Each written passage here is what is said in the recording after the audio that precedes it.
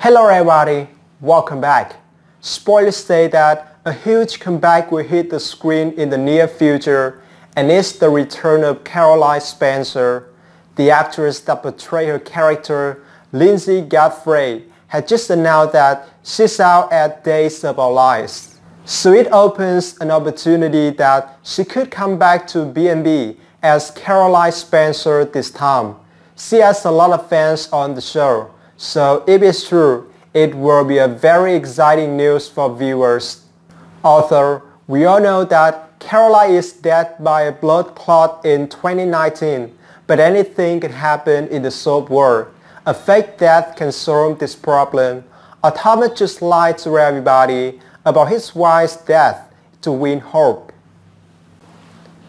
If Caroline is back, we can have more great storylines with this character, just like a new love triangle. Caroline can jump between Thomas and Hope because Hope will decide to divorce Liam and give Thomas a chance this time. Plus, Caroline will soon reclaim Douglas from Hope because he is her son and there is no way she let Hope raise him instead of her. As for you, do you want the writer to bring back Caroline? Write out your opinions in the comments below.